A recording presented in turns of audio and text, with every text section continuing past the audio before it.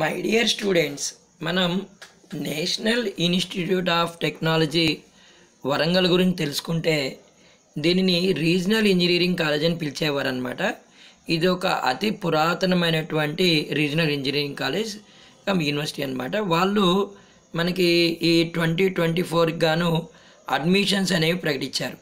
మన వరంగల్లో మన హన్మకొండలో అతి పెద్దదైనటువంటి ఒక రీజనల్ ఇంజనీరింగ్ కాలేజ్ దీని యొక్క ముఖ్య ఉద్దేశం ఏంటంటే దేశంలో ఇంజనీరింగ్ విద్యను మేనేజ్మెంట్ విద్యను పెంపొందించడం. కష్టపడ్డ వాళ్ళు ఎప్పుడైనా సక్సెస్ అవుతారని చెప్పి వారి యొక్క లోగో మనకి చాలా ఇంట్రెస్టింగ్ అనిపిస్తుంటుంది. ఇక్కడ అడ్మిషన్ ప్రోగ్రామ్ అనేది ఉందండి. పర్టికులర్గా నేను ఎంబీఏ వాళ్ళకి చెప్తున్నాను.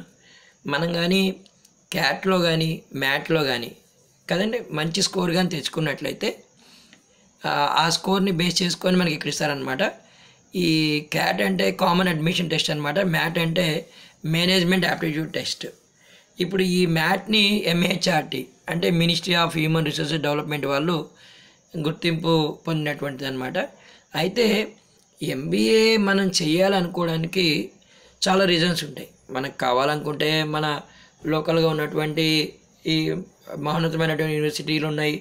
ఉస్మానియా యూనివర్సిటీ కాకతీయ ఇవన్నీ ఉన్నాయి. ఇవి కాకుండా సెంట్రల్ లెవెల్లో మంచి స్టాండర్డ్స్ మెయింటైన్ చేస్తూ మంచి ఉద్యోగ అవకాశాలు మనకి పొందాలి అంటే మాత్రం మంచి ఎయిమ్ అనేది మనం పెట్టుకోవాలి.